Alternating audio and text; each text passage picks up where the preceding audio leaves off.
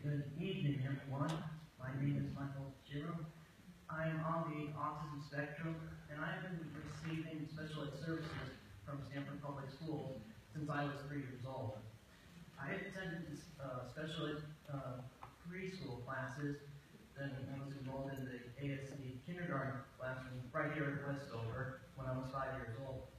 Fortunately, through the support of Stamford Public Schools and my parents, I slowly and steadily was mainstreamed into classes with typical students while receiving support from the ASD classrooms at Roxbury, Blooming, and Stamford High School.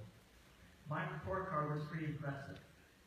Uh, I received A's and B's based on my AP. I even made the baseball teams for both Cloonan and Stamford High School. Uh, when I completed Stamford High School in 2015, my goal was to attend college, uh, major in computer science, or be university. okay. Well, um, unfortunately, my all my college applications were uh, rejected. By law, I am entitled to receive an education until I graduate high school or reach the age of 21. About to turn a couple months. Um, college is clearly not an entitlement. At college, I don't have an IEP to protect me. Well, I'm allowed only accommodations, not modifications for my work. Well, since I received all the college rejection letters, a PPT meeting was held and an uh, appropriate transition plan uh, was put in place to support me. Thankfully, this uh, Special Education Administrator, Dr. Wayne Holland, um, and Sue Chandler, I came upon College Steps at Norwalk Community College.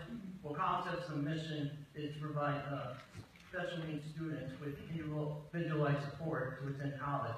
Well, they helped me learn how to do college level work, and it is not modified.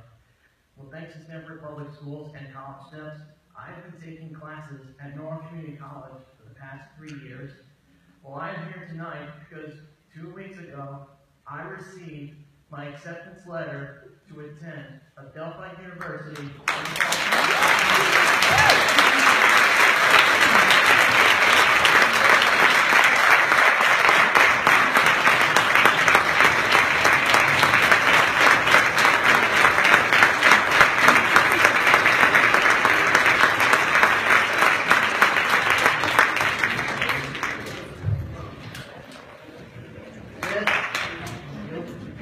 This, been made all possible the specialized services that I received throughout my public school education.